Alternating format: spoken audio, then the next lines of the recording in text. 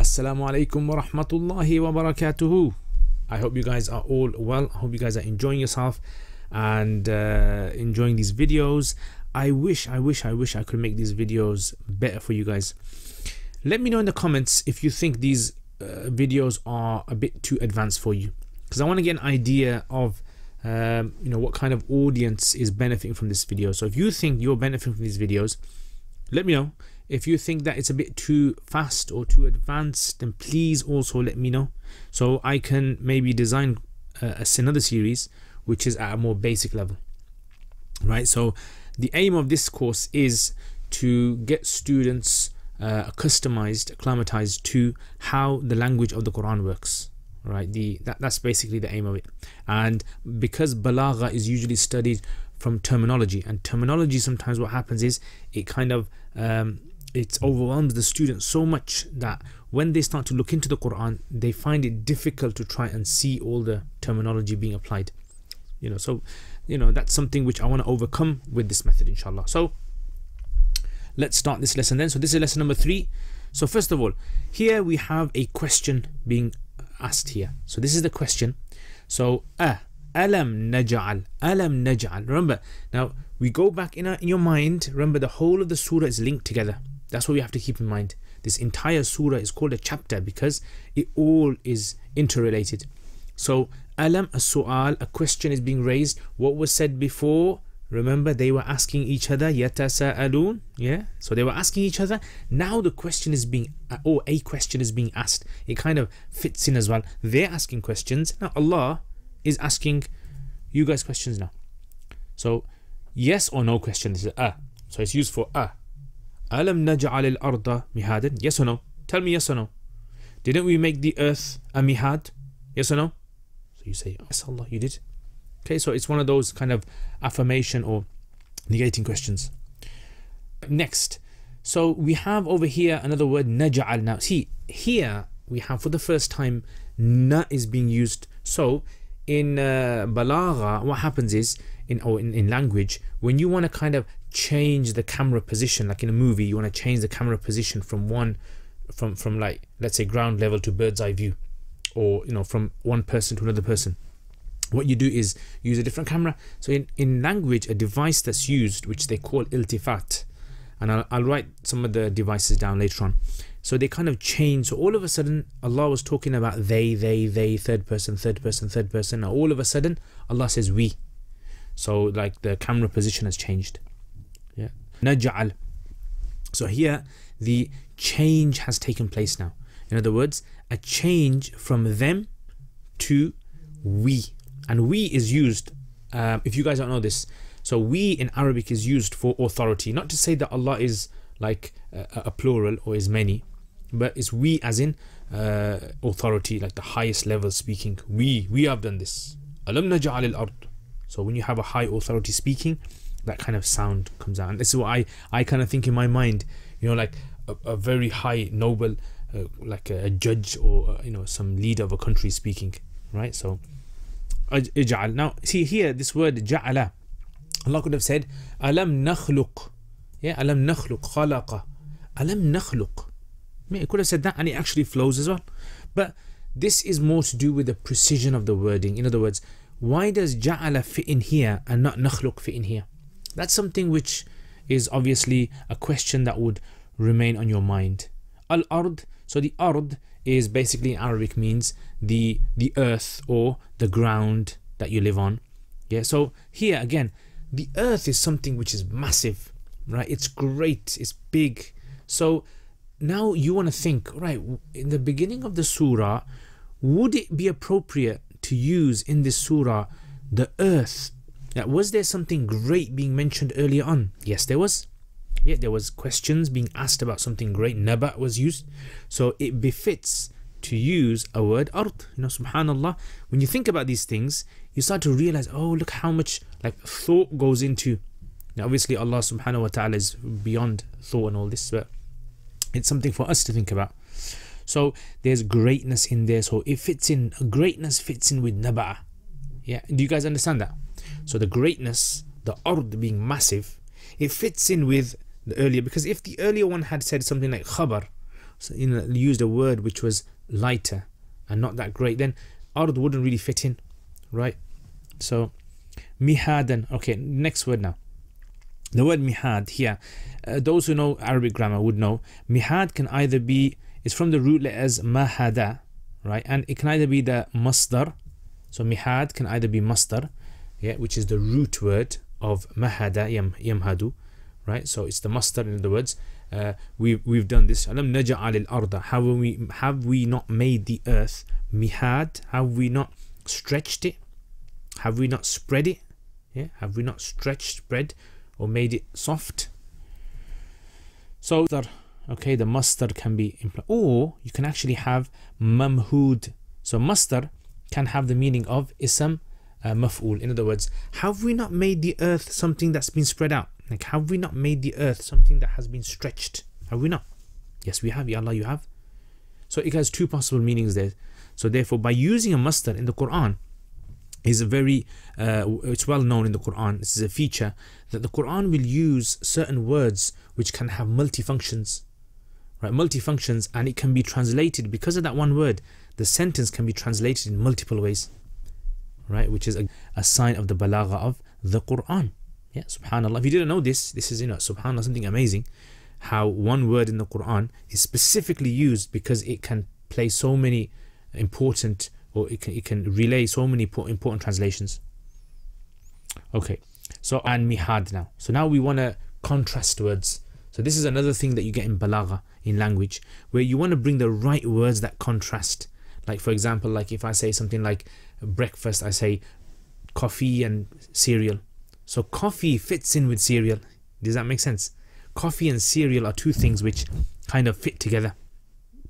So, so those are kind of words that kind of match, matching words. Baby and soft, um, you know, tree and tall. Does, does, you get what I'm saying?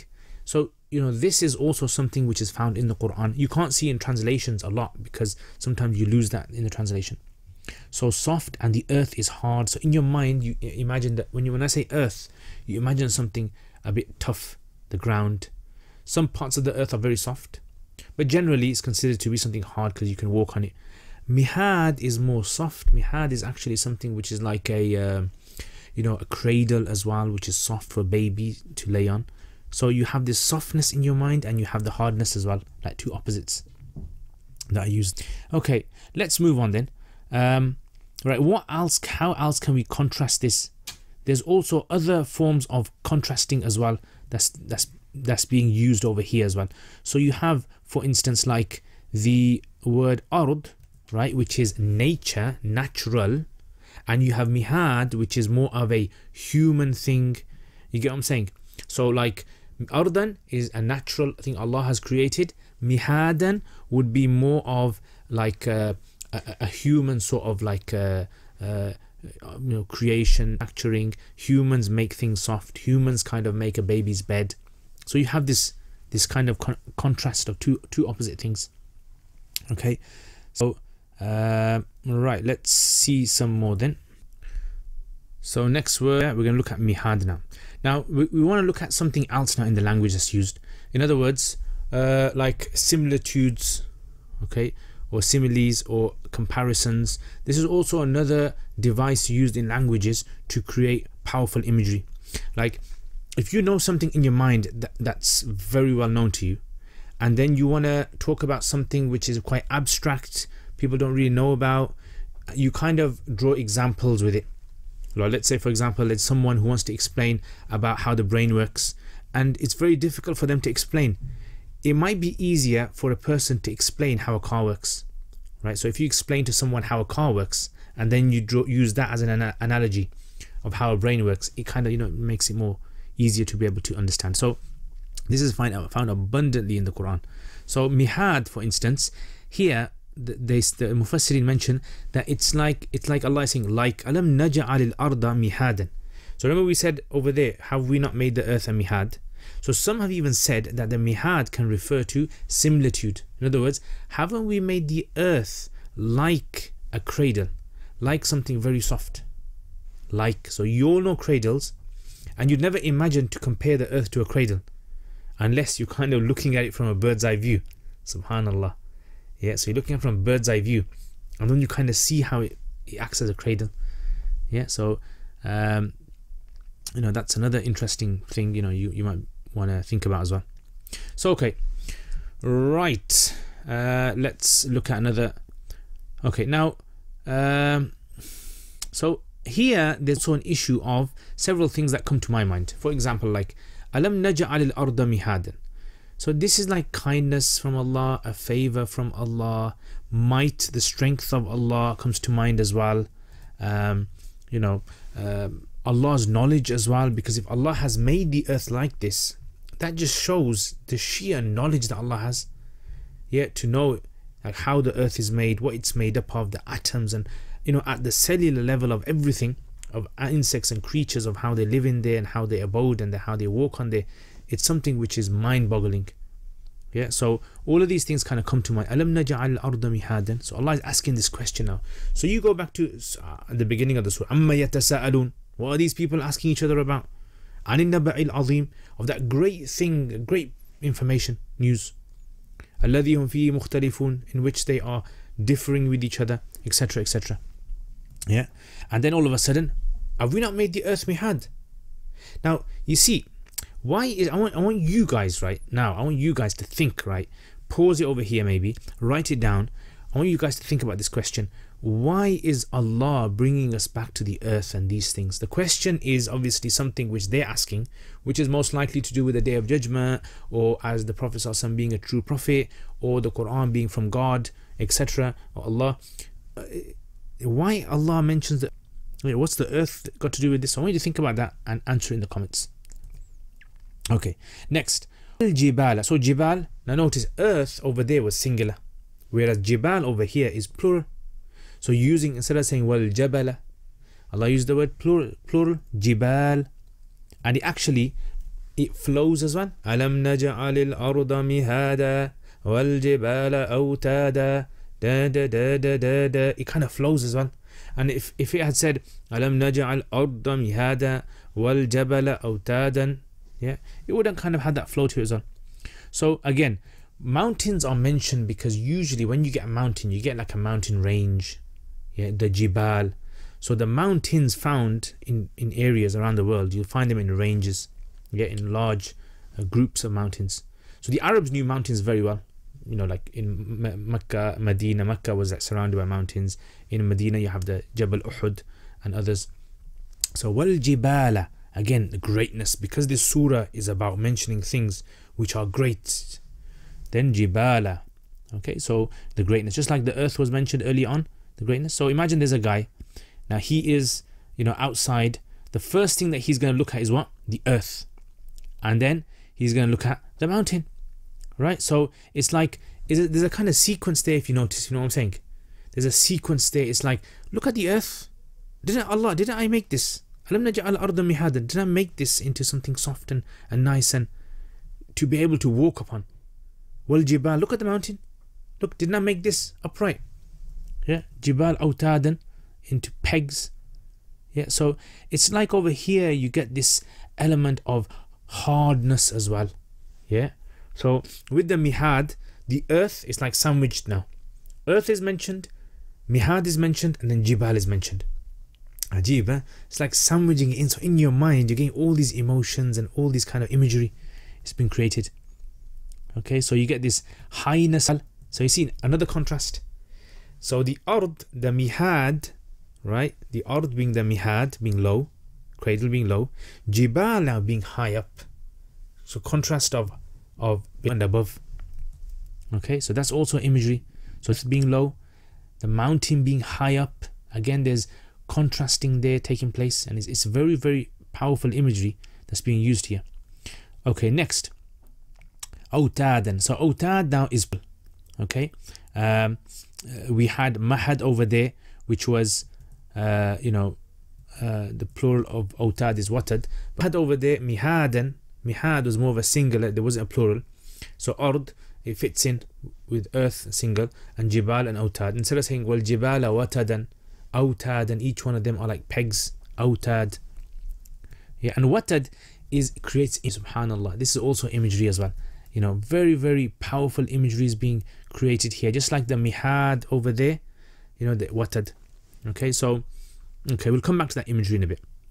So associated to uh, humans watad is yeah just like mihad was a structure comes into your mind just like mihad a baby comes to mind care caressing taking care of being gentle with whereas autadan is like more a human sort of construct as well but it's more powerful as well more mighty more like sophisticated you can say.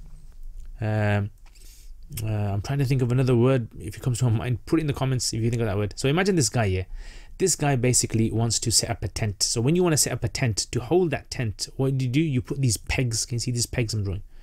These pegs right, these are called watads in Arabic okay? So the function of the watad is a very structural uh, function it has is to keep the building together the watad has to be very firmly in for the structure to be solid.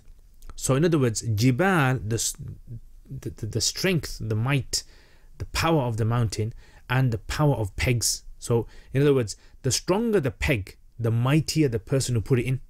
Yeah? You get me? So if you got like a small peg and you put it in the ground but compared to a large massive peg that's been put into the ground you know you can see the difference between the two. Against you get this kind of powerful imagery okay of pegs and you know people putting in. So but the question is why is Allah calling the mountains pegs? Like pegs are normally associated to keeping a, a, a structure upright like a tent from from it blowing away. So why so Allah hasn't mentioned here why the mountains are pegs but you would assume in your mind you create this image of if the mountains are pegs it seems as though the thing that they are driven into the earth it's like it's keeping the earth from blowing away or moving too much. Yeah that's the kind of imagery that that it creates in your mind. Okay so you got this pegs okay so we've got this pegs imagery jibal autadan. Again autadan like mihad is a similitude yeah a comparison analogy that's being drawn here. Haven't we made the earth like a mihad? Haven't we made the mountains like pegs? Like pegs. So they are not pegs. In that pegs would be like what humans would put. But this is at a grand scale. So haven't we made it like this? So in your mind, this comes in your mind again. It's creating imagery. Yeah. And what we call, you know, isti'ara. Okay, or tashbih rather. Imagery is being created over here. So there's lots of imagery. So this is in balagha you actually call this tashbih. Alright, you draw similarities like you say Zaid is like a lion. So then Zaid being like a lion, you know what a lion's like. The emotions that are created inside the heart and the mind. When I mention lion and then I say Zaid with it, it kind of it gives Zaid this braveness and strength. Okay, by imagery. So this powerful imagery that the creates. Okay, so Jibal is a plural times 3 and autad is plural. So if it's like we said early on you know the uh, you know munasaba appropriateness of plural for plural. And earth is singular and whereas mihad is also singular. Okay?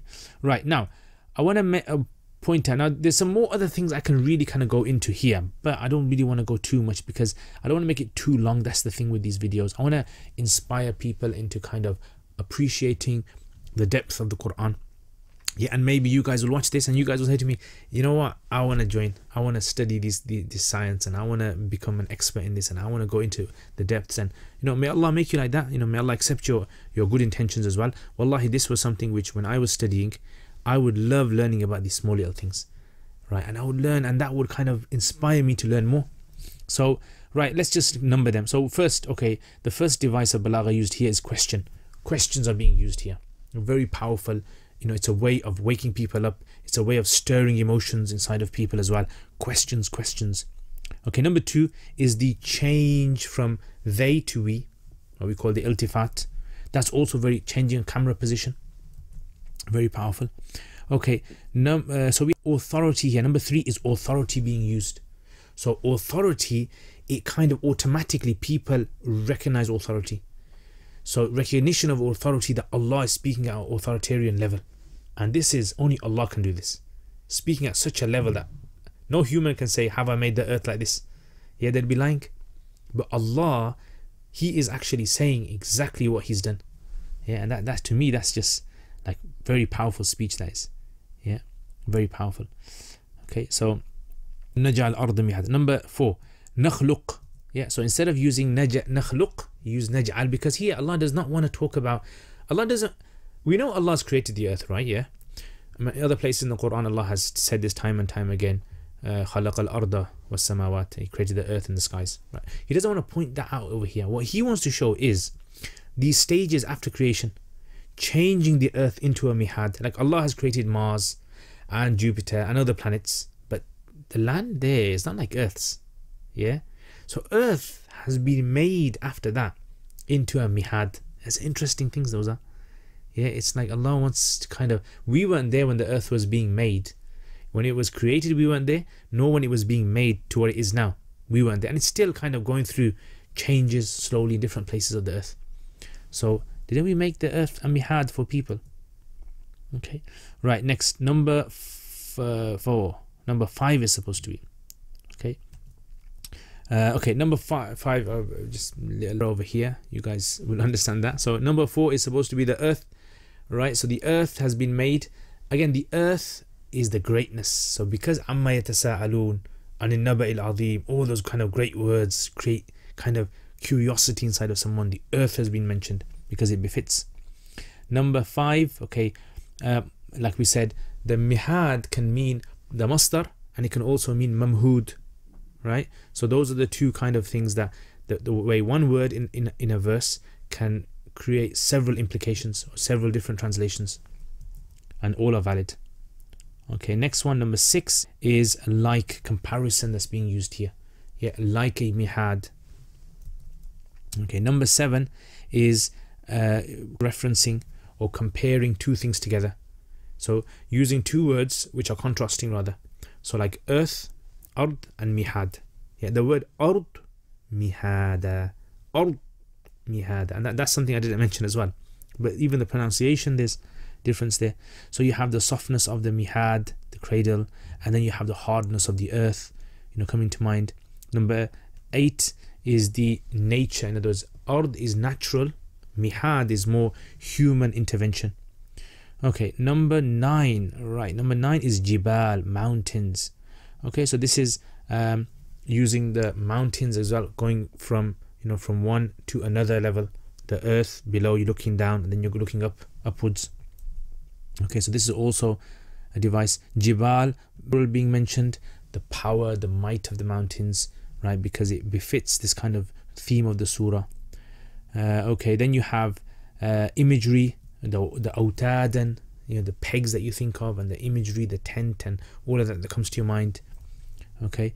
And then like the question that comes to your mind why has he made it like this? Right? We understand the earth made a cradle but again but why the mountains are they made pegs?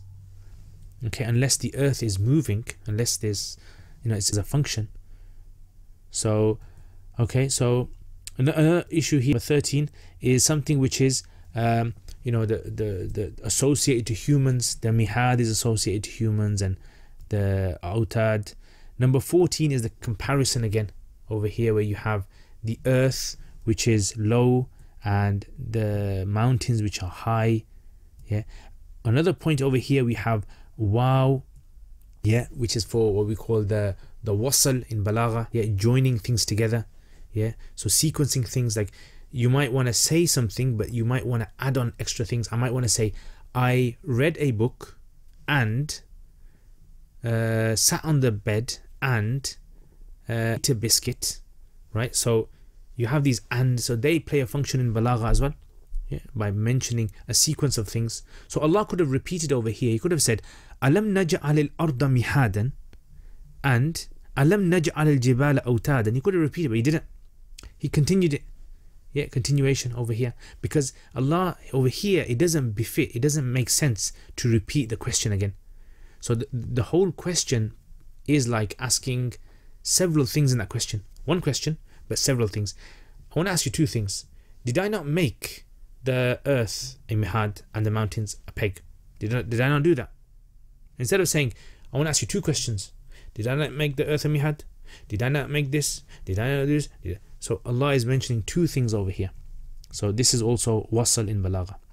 Number 16 is the feelings that you get from this surah.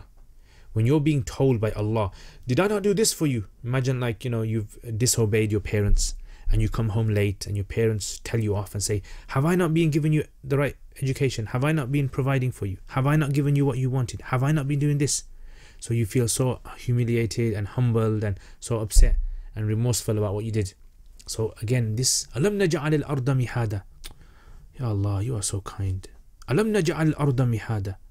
Look how favor Allah's favors are upon us. Look at His strength, might. Look at His knowledge. Yeah, intricate knowledge of the universe. Okay, right. So another one. Okay, these verses they actually end in a particular rhyme. Yeah, have you noticed? Like for example, there's a rhythm there. ألم نجعل الأرض مهادا والجبال أوتادا There's a rhythm there, isn't there? So just as there is a flow in the words, right, which we call fasaha, the words actually flow. They, if someone listens to them, it feels good. Like if I say to you, um, I, uh, you know, uh, you know, this is just like a, a random question. I instead of saying I tore the paper, I say I broke the paper.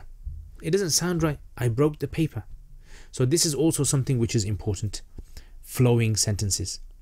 Okay, so over here at the end of the verse as well, you have these what they call fawasils.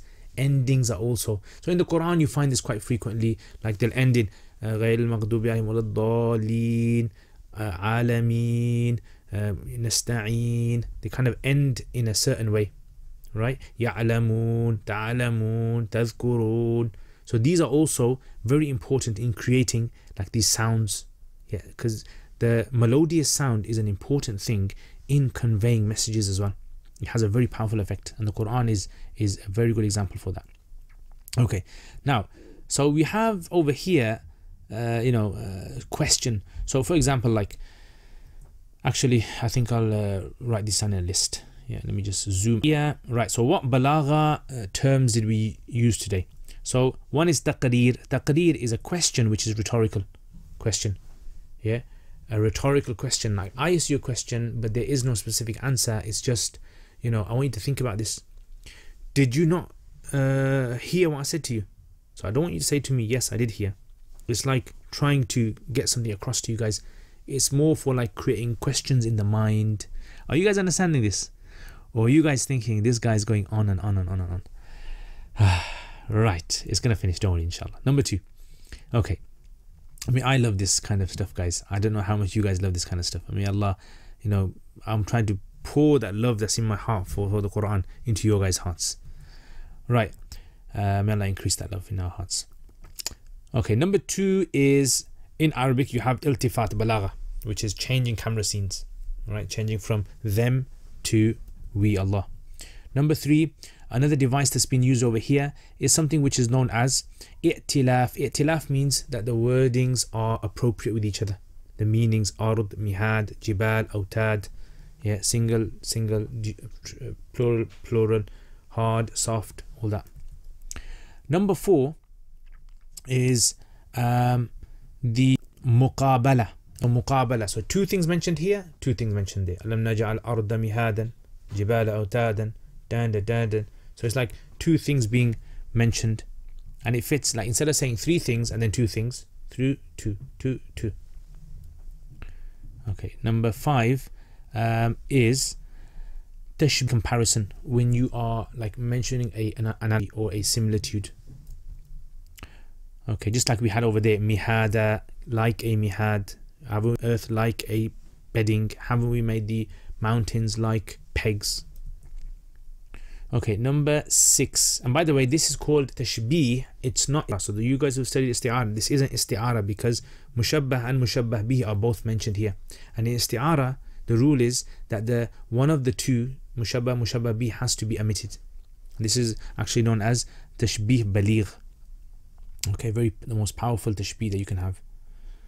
Okay, next, uh, istidraj, like going from one to another, step by step, starting off from the earth then going to the mountains, then it's going to go to something else. Yeah, so it's called istidraj, another balagha term for you guys. Uh, uh, Number seven is tasweer. Tasweer is imagery that's being created here. Okay, I keep on saying it is imagery, powerful imagery that's creating the minds. Okay, number eight.